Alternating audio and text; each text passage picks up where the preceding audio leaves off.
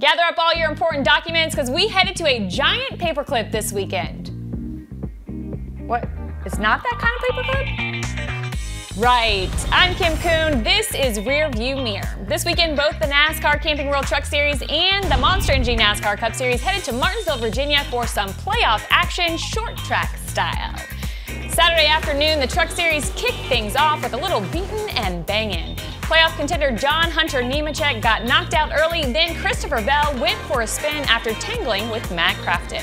But at the end of the day, it would be 19-year-old series rookie Noah Gragson who would hold off two series champs and earn his first career win. While it was not the first win for truck owner Kyle Busch, it did kick off the start to a pretty solid weekend. But more on that later. Right now, it's time for the memorable moment of the week. The bumper to the back of the 24! Elliott goes around Hamlin, takes the lead, and the caution comes out.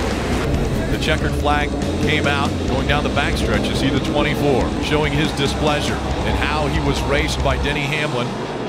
Now you're seeing it. 24 and the 11 having a difference.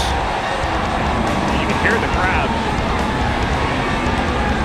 Everybody wrecked everyone there at the end. It was complete, you know, chaos and just well, he didn't make the corner because I had his back end jacked up, that's for sure. I wanted to see the replay. That's what I thought happened, and that's what happened. And um, it's definitely 100% unnecessary and uncalled for.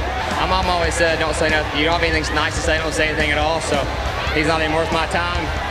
We're going to go on to Texas.